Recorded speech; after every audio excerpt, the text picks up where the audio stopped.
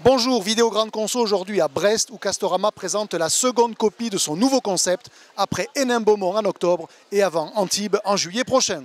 Deux principales évolutions, d'une part une nouvelle organisation des rayons, d'autre part le développement des mises en situation. Regardez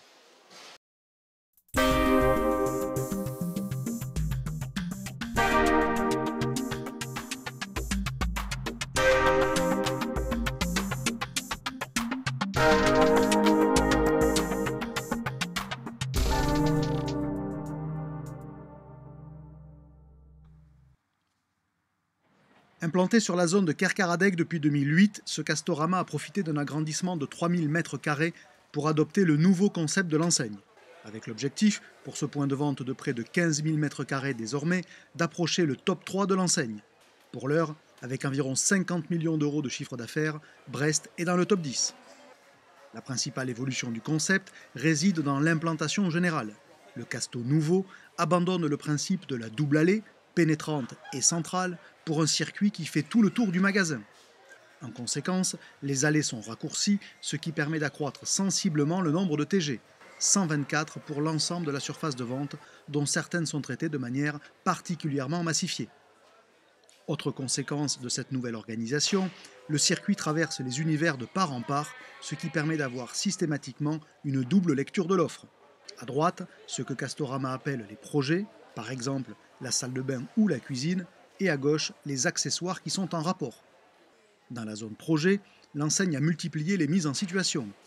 Exemple, avec 25 cuisines ou encore 12 salles de bain. Une démarche que Castorama a poussée dans d'autres rayons, notamment ici, sur les extérieurs où l'enseigne veut montrer, par la mise en situation de produits coordonnés, qu'elle est capable de proposer une solution globale. En parallèle, Castorama poursuit son objectif d'être une enseigne qui fait œuvre de pédagogie, les castostages, qui avaient disparu, réapparaissent ici sous la forme d'un castolab. En rayon, l'enseigne multiplie les rappels à ses vidéos de démonstration. Un flash sur les QR codes et le client est dirigé en quelques instants vers un pas à pas en image. De même, Casto a parsemé le circuit de zone d'essai.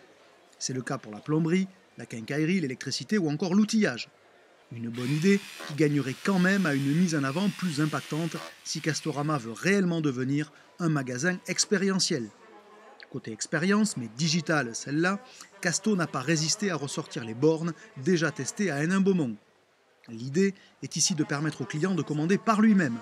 Dans les faits, l'exercice est difficile, en tous les cas sans l'aide d'un vendeur. La prochaine étape est donc facile à anticiper. Équiper les vendeurs de tablettes qui rempliraient le même usage ce qui signifierait alors la disparition de ces bornes.